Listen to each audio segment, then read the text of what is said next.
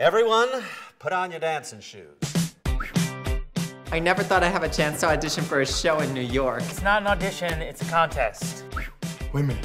I just won this online contest. Hi, I'm Tony from New York. America's Strip Search. Everyone, get ready to dance. Congratulations for being America's hottest stripper. Uh, I, I have a problem. Where's your dancing shoes? The dog ate them? Have they heard you sing? The minute that you get too big and cheesy, man, you blew it. I just don't know about the stripper thing. March, march. You're just nervous. I'll take care of you.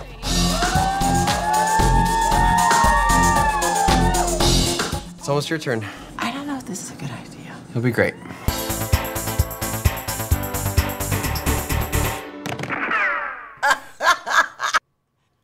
You're serious? I'm straight. Too bad. I was gonna offer you some personal dance instruction. I'm bi.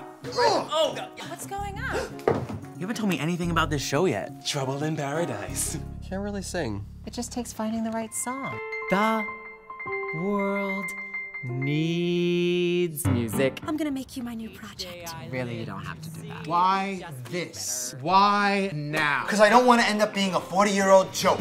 Cue in the oohs and ahs of backstage chorus is sure to cure the buzz. This whole helping people thing actually feels good.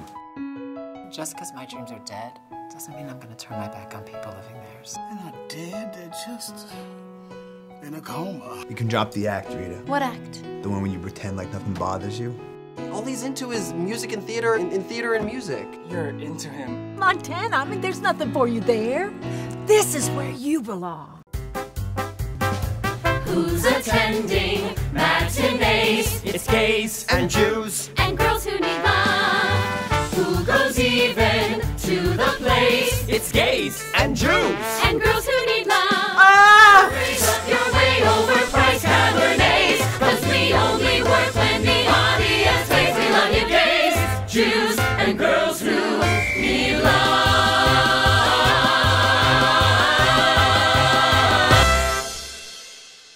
Some things are better than a spotlight,